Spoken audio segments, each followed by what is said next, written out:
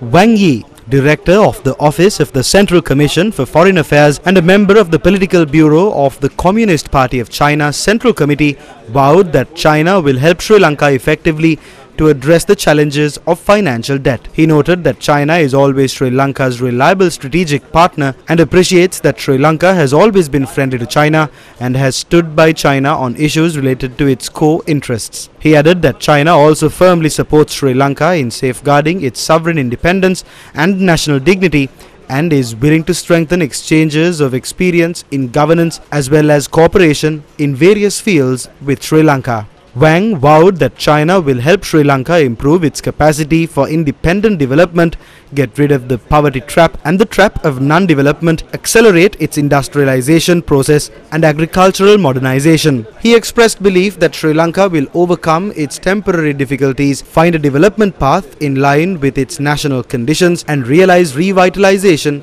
and prosperity. Prime Minister Gunawardena thanked China for its firm support for Sri Lanka in safeguarding its independence, sovereignty and territorial integrity and for its timely and effective assistance to Sri Lanka in times of difficulty. The Prime Minister said the forward-looking flagship cooperation projects between the two sides, such as the Colombo Port City and the Hambantota Port, will bring benefits to the Sri Lankan people and play a key role in regional connectivity and sustainable development.